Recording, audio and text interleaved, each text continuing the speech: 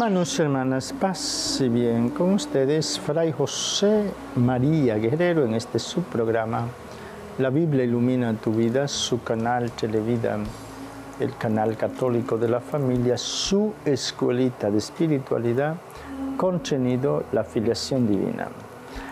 Hermanos hermanas, recordarles, recordarles esta oración que recomendamos para hacer orada, rezada, eh, todos los días en el ambiente de la familia.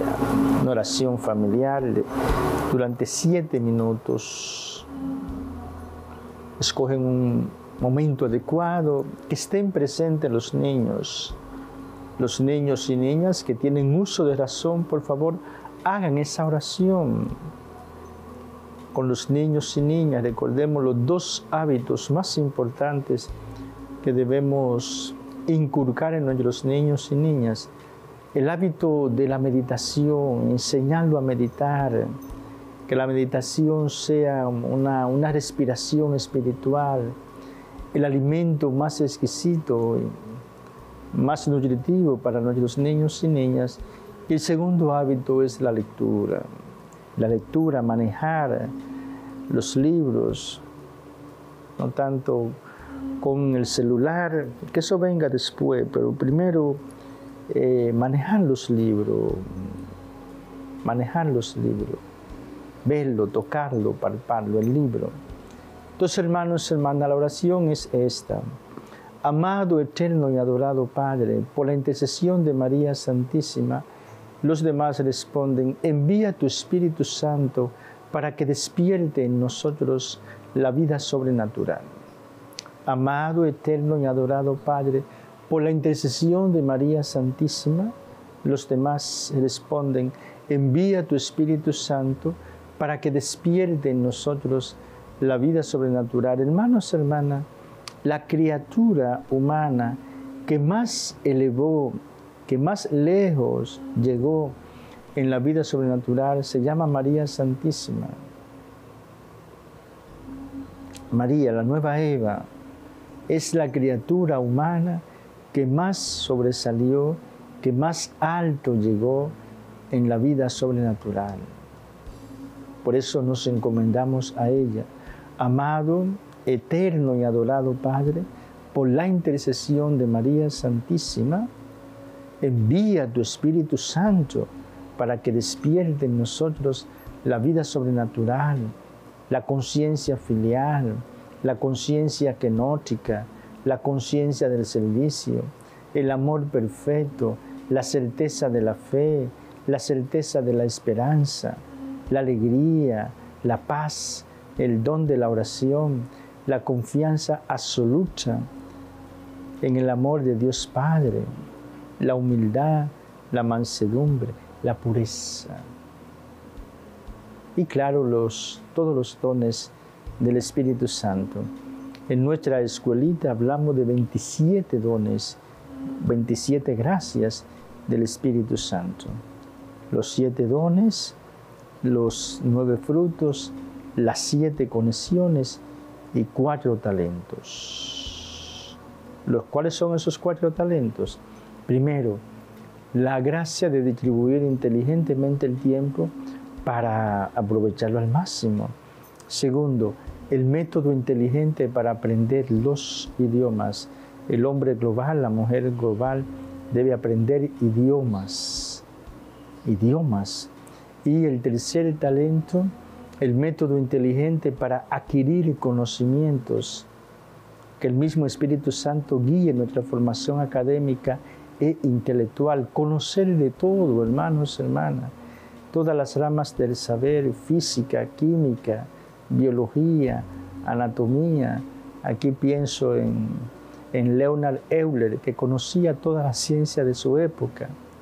Anatomía, física, química, biología, historia, literatura y uno de los grandes matemáticos que ha tenido la humanidad. El hombre global debe tener una mente abierta, una inteligencia, una inteligencia despierta, una memoria absoluta y una conciencia iluminada. Entonces, hermanos, hermanas, y el cuarto talento es el método inteligente para evangelizar hoy, cómo llevar la palabra de Dios a los demás. Y recuerden ese, este otro, esto, este, otro, son tantísimos dones, nosotros mencionamos 27, ¿verdad? Pero hay más, por ejemplo. Qué don tan hermoso este. Un fuego interior sumamente intenso, sumamente denso. Un fuego interior que nos quema para que cada ser humano conozca a Jesús, ame a Jesús y sea católico. Una persona con una vida sobrenatural altamente desarrollada tendrá permanentemente este fuego, este fuego, el fuego de, que cada ser humano conozca a Jesús, conozca a Jesús y ame a Jesús sea católico. Hermanos, hermanas, algo importante que se, se los comunico ahora. Ustedes saben que debemos trabajar en esta época global para, que, para unificar la conciencia creyente en el único Dios vivo y verdadero, el Dios de los cristianos, y unificar la conciencia creyente en el nuevo pueblo de Dios. Un cristiano, un cristiano, en la medida que va avanzando, hermanos, hermanas, en su espiritualidad, en su vida sobrenatural, siempre va a terminar por ser católico. Siempre va a terminar por ser católico, porque la iglesia católica fue la iglesia que Jesús fundó los hermanos evangélicos, en la, medida, en la medida que vayan creciendo espiritualmente, van a conocer la verdad de la iglesia de Cristo, de la iglesia que Jesús fundó. Y por eso vemos nosotros, hermanos, hermanas, que no hay santidad realmente. ¿Dónde, ¿Dónde hay un San Francisco en la iglesia católica, en la iglesia evangélica? Un San Francisco luterano, un San Francisco anglicano, un San Francisco de los testigos de Jehová, adventista, un hombre realmente cristificado, no lo hay. ¿Y cómo, cómo va a existir un San Francisco sin Eucaristía? ¿Cómo va a existir un San Francisco sin acoger a María? ¿Cómo existir un San Francisco que no confiese sus pecados a un ministro de la iglesia, a un sacerdote? Entonces, hermanos, hermanas, Avancemos los católicos para llegar a la, iluminación, a la santidad, y desde la santidad nosotros vamos a lograr que nuestros hermanos hindúes, budistas, musulmanes vengan a la iglesia católica y que todos los cristianos vengan a la iglesia católica. La iglesia que Jesús fundó, hermanos, hermanas.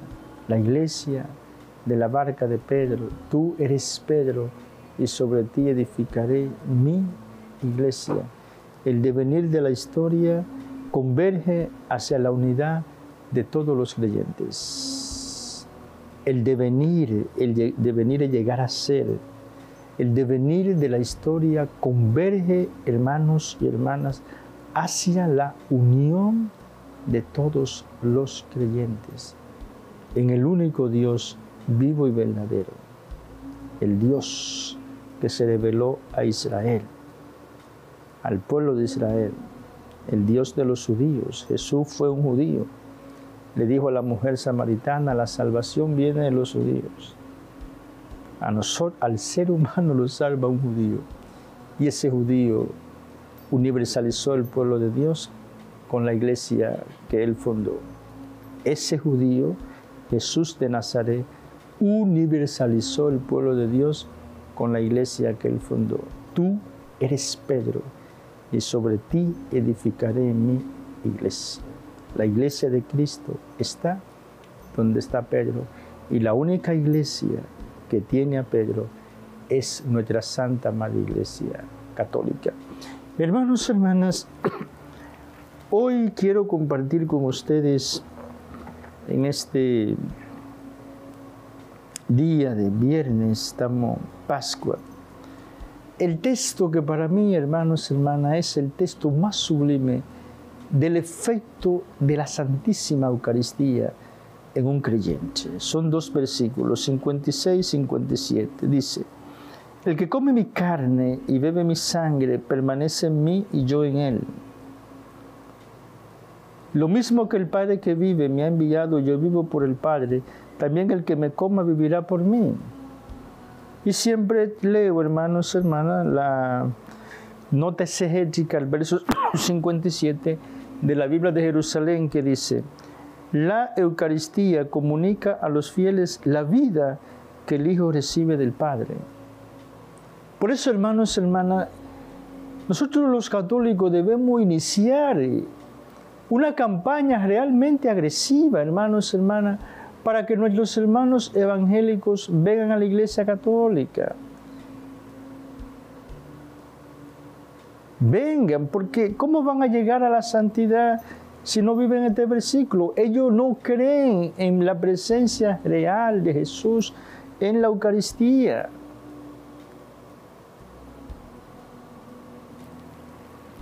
La misma vida que Jesús recibe del Padre nos la comunica a nosotros a través de la Eucaristía. Hermanos, hermanas, es sumamente complicado para los mismos exegetas evangélicos no ver en este versículo 6, perdón, en este capítulo 6 de Juan, un trasfondo de la vida eucarística de la iglesia, de la época de Juan. Es sumamente complicado, hermanos, hermanas, para un exegeta evangélico que no cree en la presencia real de Jesús en la Eucaristía, no ver en este capítulo 6 un trasfondo eucarístico en, en el corazón y en la teología de Juan. Entonces, es un acto de caridad, hermanos y hermanas, que nosotros hacemos a los evangélicos, que ven a la iglesia católica, porque los evangélicos buscan la santidad. O sea, nosotros jamás se nos ocurre, no, no, no son gente perversa, no son gente que andan matando, no, no, no. no. Evangélico es un ser humano cristiano que busca vivir su coherencia en la fe cristiana pero están buscando la santidad en el lugar equivocado. Entonces los, católicos como que no, es un acto de caridad, hermanos, hermanas. Le hacemos un bien grandísimo. O preguntemos a los, a los evangélicos que se han hecho católicos. a mí, para mí, el de todos realmente el que más me fascina es Scott Hahn. Scott Hahn, este hombre que leerlo. Este hombre que lee, Scott Hahn, de vuelta a Roma. Entonces, hermanos y hermanas, es un acto de caridad, de amor fraterno, trabajar para que nuestros hermanos evangélicos vengan al redil de la Santa María Iglesia Católica y lleguen pronto a la santidad que la misma radicalidad que ellos tienen en conocer la Biblia, la pongan en buscar la santidad en el camino que Jesús instituyó, hermanos y hermanas. Camino que Jesús instituyó, le haríamos bien grande a lo evangélico. Que se hagan santos en nuestra Santa María Iglesia Católica, la universidad que Jesús fundó, hermanos y hermanas. Nuestros hermanos ortodoxos, ellos tienen santos y santas. Ellos sí llegan a la santidad, porque tienen los siete sacramentos, no han quitado la Eucaristía, no han quitado a María Santísima. Solo le hace falta el Papa para conseguir la unidad perfecta, el Papa. Bien, mis hermanos, hermanas, démonos prisa, amemos los católicos juntamente con los ortodoxos, el sacramento de la Santa Eucaristía y transformémonos en aquel que recibimos, Jesús. Adorémosle en espíritu y en verdad.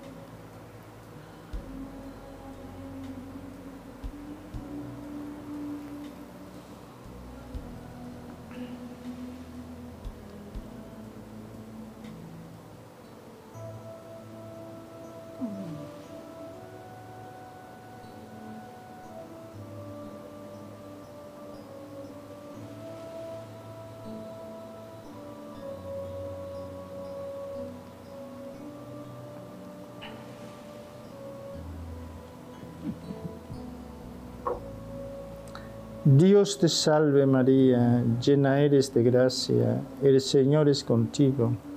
Bendita eres entre todas las mujeres y bendito es el fruto de tu vientre Jesús.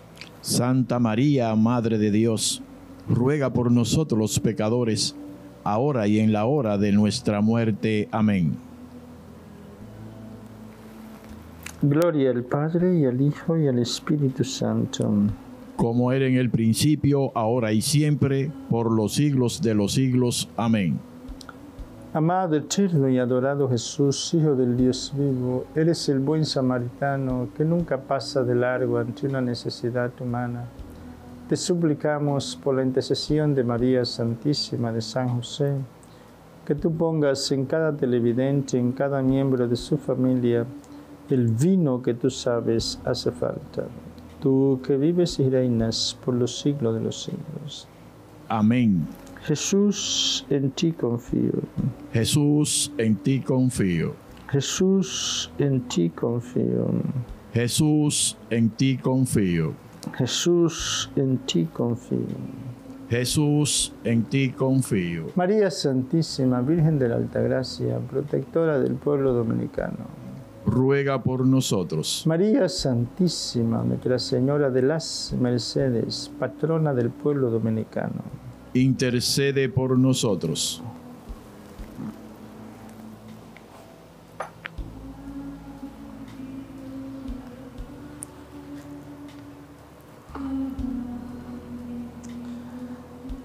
Amado eterno y adorado Jesús, Hijo del Dios vivo, bendice el planeta Tierra, bendice a cada ser humano que lo habita. Acelera en nosotros la hora de la santidad, de la iluminación, del despertar, la hora de la conexión con nuestra esencia. Amén.